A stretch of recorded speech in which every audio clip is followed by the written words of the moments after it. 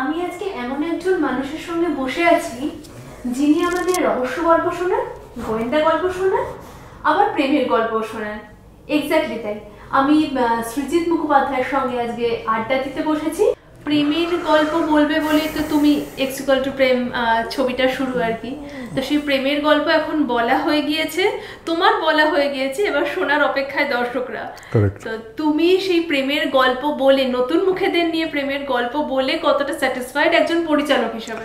আমি অসম্ভব স্যাটিসফাইড আমার অভিনেতারা এত ভালো পাঠ করেছেন মানে starting from Anindo to Shruti to Madhurima আর অর্জুন তো মানে সম্পূর্ণ অন্যভাবে এই ছবিটায় ওকে আমরা পাবো। এই ধরনের এই ধরনের চরিত্র আগে করেনি। সো আমি খুবই স্যাটিসফাইড এবং ওদেরই প্রয়োজন ছিল ছবিটার। মানে ওরাই এই ছবিটাকে সঠিক মাত্রা দিতে পারতো। ওদের ওদের যে নতুনের জোয়ার যে তারুণ্যের উচ্ছ্বাস সেটা খুব ইম্পর্টেন্ট ছিল। তুমি যে নতুনদের কথা বললে অর্জুন আহ, ইতিমধ্যে অভিনয় করেছে। নতুনদের অনিন্দ বা শ্রুতি মধুরিমা, এদের তুমি কাস্ট করেছিলে কি ভেবে মানে এদের তুমি মানে পিক করেছিলে কোথা থেকে? পিক করেছি অনিন্দ আমার একটা ইন্টারভিউ নিয়েছিল একবার। এটা সিনেমা সিনেমার বিষয়বস্তু নিয়ে আলোচনা হয় এরকম একটা পোর্টালের জন্য। এবং সেই ইন্টারভিউটা দেখে মানে ইন্টারভিউটা যখন নিচ্ছিল আমার, ওকে খুব খুব বুদ্ধিদীপ্ত, খুব স্মার্ট ইন্টারেস্টিং দেখতে ব্যক্তিত্বটা খুব ইন্টারেস্টিং লেগেছিল। সো তার, আমার ওই একবার ক্লিক করে গেলে না, তখন ক্লিক করে যায়। তো তখন আমি ইমিডিয়েটলি যখন আমি কাস্ট করছি, যখন ফর এক্সিকুল টু প্রেম এবং ফর অতি উত্তম, এই দুটো ছবিতেই আমি ওকে ইমিডিয়েটলি ফোন করে বলি। এবং তার আগে অবশ্যই আমি জেনে নিই, ওর কাছ থেকে সেই দিনেই জেনে নিয়েছিলাম, যেদিন ইন্টারভিউ নিয়েছে যে তুই কি অ্যাক্টিং নিয়ে সিরিয়াস বা তোর অ্যাক্টিং নিয়ে কোনো ইন্টারেস্ট আছে? বলছে হ্যাঁ আমার প্রচণ্ড ইন্টারেস্ট আছে অ্যাক্টিং নিয়ে। সো ওইটা জানার পর যখন আমি যখন কাস্ট করছি, আমার সাডেনলি মনে হলো, আরে, অনিন্দ ছেলেটির কথা মনে হলো নাম্বার জোগাড় করলাম ওটাকে ফোন করলাম। ফোন করে ও তো লাফাতে লাফাতে হ্যাঁ হ্যাঁ হ্যাঁ। তো সেইভাবে ওকে কাস্ট করলাম। শ্রুতির আমার সাথে দেখা করতে এসেছিল বাপ্পা মানে সত্যজিৎ সেন আমার ছোটোবেলার বন্ধু। তো ওর থ্রু দিয়ে ওর পূর্ব পরিচিত ছিল। তো শ্রুতি কিন্তু আমাকে সে আমার সঙ্গে দেখা করতে এসেছিল দু হাজার পনেরো সালে। পনেরো না দু হাজার ষোলো ওই ওই সময়টা। দু হাজার পনেরোই হবে। হ্যাঁ মানে এবং শ্রুতির ব্যক্তিত্ব অগেন ওর মুখ ওর ব্যক্তিত্ব ওর উচ্চারণ ওর ভাব ভঙ্গ- ভঙ্গি এবং এভরিথিং ওটা আমার মাথায় রয়ে গেছিল। So when again I was casting suddenly আমার মনে পড়ল আছে ওই মেয়েটি দেখা করতে এসেছিল। তো তখন আমি বাপ্পাকে ফোন করলাম ফোন করে জিজ্ঞেস করলাম, ও আমার নাম্বার দিল। আমি ফোন করলাম এবং ফাইনালি গিয়ে নাকি ওর নাম্বার ছিল অলরেডি বা but I contacted her after six years so and তারপর ও, আমি যে ফার্স্টে জিজ্ঞেস করলাম যে আই ইউ স্টিল অ্যাক্টিং মানে তুমি কি এখন অভিনয়ের সঙ্গে যুক্ত? যে হ্যাঁ আমি তো বম্বেতে মডেলিং এবং অভিনয় করি। তো তখন আই অফার্ড হয় যে তুমি কি আমার পরের ছবির নায়িকা হবে। তো অ্যান্ড শি ওয়াজ লাইক তো এবার এইটা একটা মজার ব্যাপার, মাথায় একবার না গেঁথে গেলে সেটা থেকে যায়। সেটা সেই মুহূর্তে হয়তো আমার চিত্রনাট্য সেরকম কিছু নেই বা সেরকম কোনো চরিত্র নেই। এটা আমি অনেককে বলি, তারা বিশ্বাস করে না, তারা ভাবে আমি এমনি জাস্ট কাটিয়ে দেওয়ার জন্য বলছি। কিন্তু তা কিন্তু নয়। আমি বলছি যে হ্যাঁ আমি দেখছি, যদি সেরকম কিছু আসে আমি যোগাযোগ করব। এবং আমি অ্যাকচুয়ালি যোগাযোগ করি। সো সেইভাবে শ্রুতির সাথে যোগাযোগ, শ্রুতি কাস্ট হলো। আচ্ছা এ মধুরিমা অগেন আমি খুঁজছিলাম অদিতির চরিত্রটা আমার এত প্রিয় একটা চরিত্র। খুঁজছিলাম কীভাবে নতুন একটা মুখ খুঁজছিলাম খুঁজছিলাম, খুঁজতে খুঁজতে খুঁজতে সাডেনলি আমি হোর্ডিং দেখলাম একটা অঞ্জলির, অঞ্জলি জুয়েলার্সের তো আমার খুব ইন্টারেস্টিং লাগল মুখটা একটা অদ্ভুত ব্যক্তিত্ব আছে মুখে। So then I got in touch with Rupsi মানে অঞ্জলির যে মানে তার সাথে অনেক বছরের আলাপ অ্যান্ড অনেক বছরের বন্ধু। সো ও তখন কন্ট্যাক্ট দিল। তারপর জানতে পারলাম ও মেগা সিরিয়ালেও অভিনয় করে। সো একটা অভিনয়ের ব্যাকগ্রাউন্ড আছে। সেভাবে অদিতির কাস্টিং হলো। সো নানান রকমভাবে বেসিক্যালি কাস্টিং হয় আর কি। ফ্রেম বানানোর সময় শুটিং এর সময় বা লেখার সময় সৃজিত মুখার্জির কলেজ লাইফটা সৃজিত মুখার্জির মাথায় কতটা ছিল? পঁচানব্বই শতাংশ। কারণ এক্সিকল টু প্রেম মূল প্লটটা বাদ দিয়ে যেটা একটু ফিউচারিস্টিক যেটা একটু অন্যরকম, কিন্তু ওটা বাদ দিয়ে মানে পুরোটাই আর কি সত্য ঘটনা অবলম্বনে বলা যেতে পারে। এবং সেই কিছু ঘটনা আমার নিজের জীবনের, কিছু ঘটনা আমার বন্ধু বান্ধবের জীবনের, কিছু ঘটনা আমার বন্ধুর বন্ধুর জীবনের, যেটা আমি শুনেছি লোকগাথা হয়ে গেছে। সো এরকম নানান ঘটনাবলী মিলিয়ে কিন্তু এক্সিকেল টু প্রেম এবং প্রেমের ঘটনা, ভালোবাসার ঘটনা, বিচ্ছেদের ঘটনা, ঝগড়ার ঘটনা, দুঃখের ঘটনা অন্তরঙ্গতার ঘটনা এবং এই সেই সব কিছু মিলিয়ে কিন্তু এই এক্সিকেল টু প্রেমের চিত্রনাট্য, যেটা আমি বহু বছর ধরে লিখছি অ্যাকচুয়ালি এটা খুব পুরনো একটা স্ক্রিপ্ট আমার এবং সেটা হচ্ছে না হচ্ছে না হচ্ছে না। এই স্ক্রিপ্টের অরিজিনাল নাম ছিল ডেজাভু এবং লকডাউনের সময় আমি পুরনো খাতা বার করে পুরনো স্ক্রিপ্ট ঘাটাঘাটি করতে করতে এই স্ক্রিপ্টটা একটু পলিশ টলিশ করে ফাইনালি এই জায়গায় আনি এবং প্রেম নাম দিই এবং এই নাম দেওয়াটাও খুব মজার একটা ঘটনা। কারণ আমি ভাবছিলাম যে কি নাম দেওয়া যায় ডেজাবু একটু খটোমটো নাম।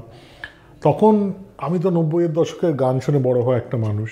সো সে যেটা মানে তার তার ব্রহ্মাণ্ডে কবির সুমন নচিকান্ত চক্রবর্তী, অঞ্জন দত্ত, মহিনার গোড়াগুলি, পরশ পাথর, চন্দ্রবিন্দু, ক্যাক্টাস, ফসিলস, এর সাথে সাথে শিলাজিৎ অবভিয়াসলি থাকবে।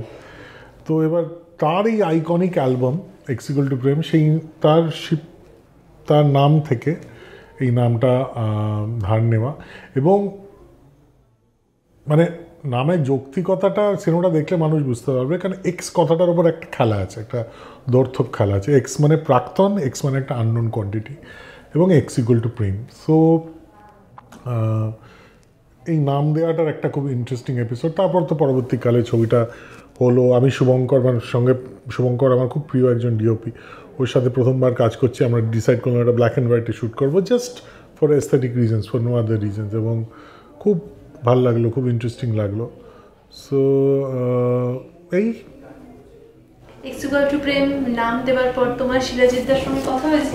হ্যাঁ হ্যাঁ অ্যাবসলিউটলি শিলায় একটা ভুল বোঝাবুঝি হয়েছিল তা দিয়ে একটা ছোটোখাটো বিতর্ক হয়েছিল তো সেটা আমি তারপরে শিলাদার সাথে দেখা করে শিলাদার I be go back a long way সেই মানে নব্বইয়ের দশকে গান শোনার পরেও আমাদের ব্যাঙ্গালোরে আলাপ সেখানে ইয়েলো সাবমেরিনে আমাদের আড্ডা মোহিনের ঘোড়াগুলির কনসার্টে সোনো সুধিজন গাওয়া সেখান থেকে জল ফড়িং সব অফিসে গেলাম অ্যান্ড তখন বলব যাবুঝি যেতেই কেটে গেল এবং এবার আমি মিউজিক লঞ্চেও চেয়েছিলাম শিলাদাকে শিলাদাকে ফোনও করেছিলাম শিলাদা ছিল না গ্রামে ছিল। তবে ছবির স্পেশাল স্ক্রিনিংয়ে আসবে বলেছে।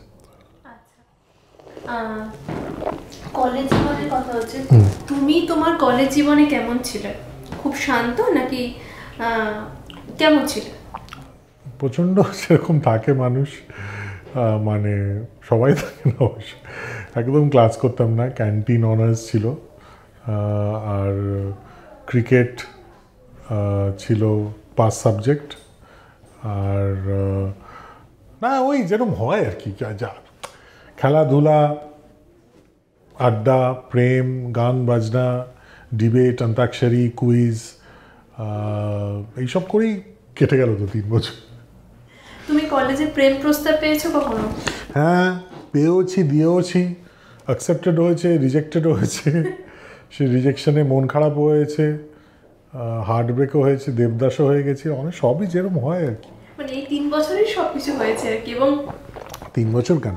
তারপর দু বছর ইউনিভার্সিটি মাস্টার্স তারপর দু বছর ইউনিভার্সিটি এমফিল জেএনইউতে সে আরও ভয়ঙ্কর ব্যাপার স্যাপার সো না ওটা তিন বছর আটকে ছিল না বেশ বছর সাতেক ধরে এইসব চলেছে আর কি। এমন একটা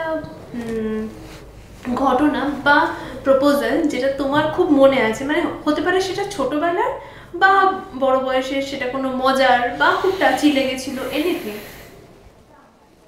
এইটা একটা মজা হচ্ছে আমি একজনকে প্রস্তাব দিয়েছিলাম প্রেমের সে ভাববার টাইম নিয়েছিল শুক্রবার দিয়েছিলাম এবার রোববার আরেকটি মেয়ে আমাকে প্রপোজ করে।